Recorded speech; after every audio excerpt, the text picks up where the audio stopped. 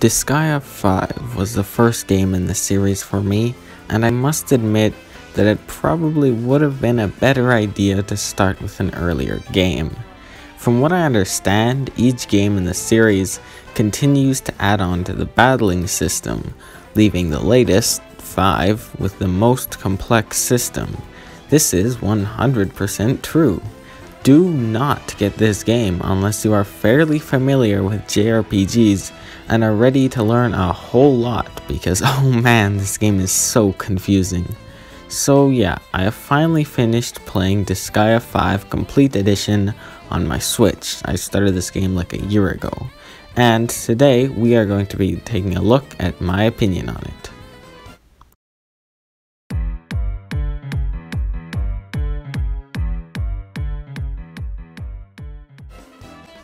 Most people come to the Disgaea series looking for an over-the-top, super complex and fun battling system.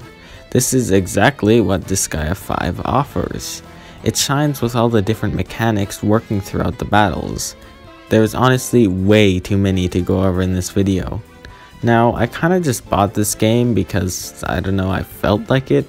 I really had no idea what I was getting myself into, and I was so overwhelmed. Throughout the game, all sorts of different mechanics are added, but even right at the beginning, there's so much stuff to know.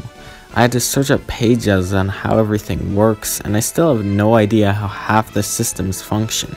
Honestly, I just got to a point where I understood the basics and some more advanced stuff, and I stopped there, relying completely on that to get me through the game.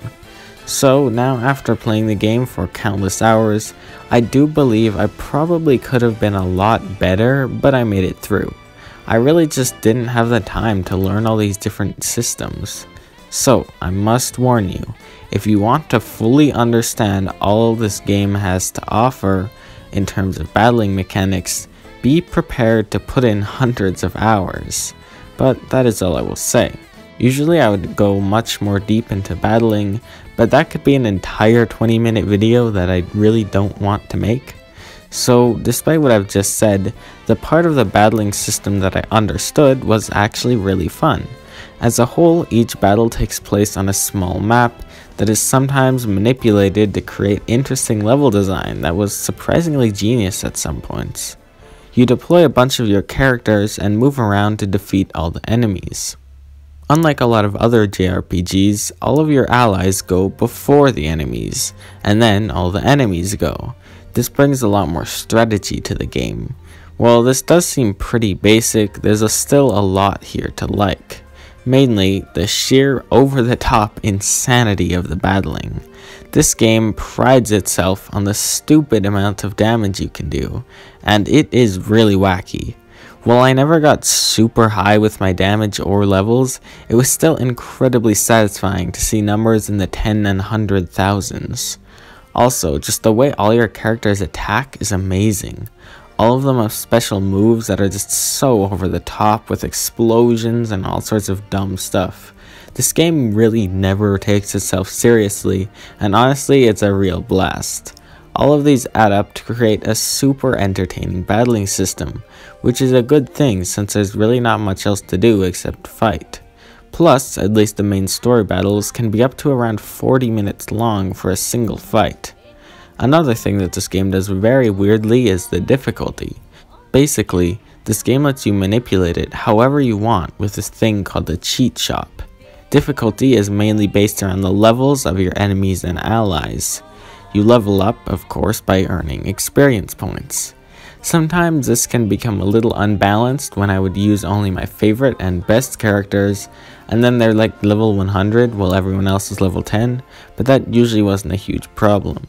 It just encouraged me to use a more broad range of characters. But then the cheat shop comes in. Apart from just tweaking how certain combat mechanics work, you can specifically set the difficulty of enemies to 20 different levels. You can also change the rewards you get from a level. While I didn't really mess around with this stuff a lot, when I realized that playing this game normally would require a lot of grinding, I changed them around a bit. I was rich in currency, so I turned down my money earned and instead turned my experience points up. Oh yeah, you can't just turn something up by itself, you have to lower something else so you can prioritize what you want.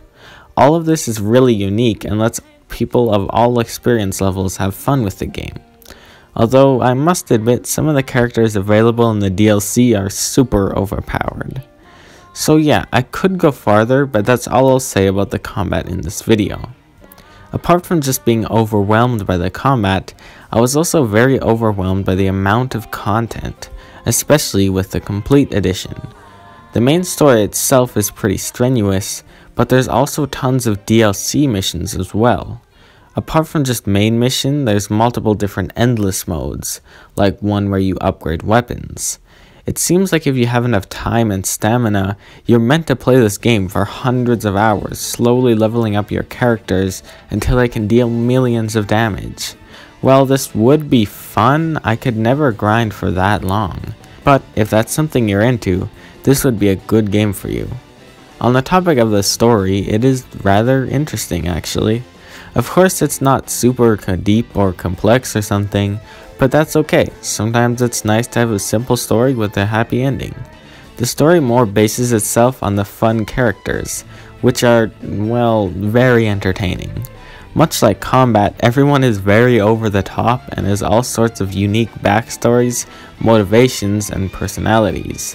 While I could see some people getting very annoyed by them, I was entertained by the insane voice acting and humorous writing. I mean, this game is seriously pretty funny. Not as much as some other JRPGs, but it was still great. One thing I must complain about is the graphics. I don't know if this is exclusive to the Switch or not, but things get very pixelated, especially when characters get close to the screen and there's some of their battle animations. Honestly, since I didn't go very deep into the combat, I think that's about it we have to talk about. One last point, I really enjoyed the hub world in this game, even if it technically was kind of boring.